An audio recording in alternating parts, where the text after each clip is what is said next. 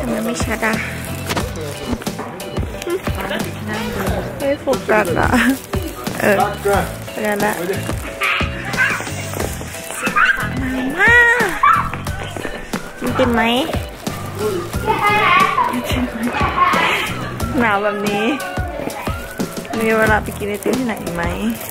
ไม่มีอารมณ์กินละ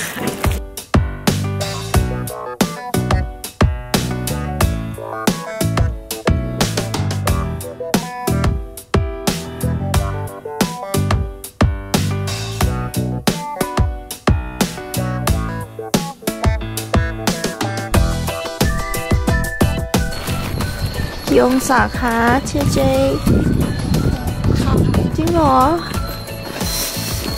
ฟูโอมิยาเกะโอมิยาเกะ屋さんさっきも買ったけど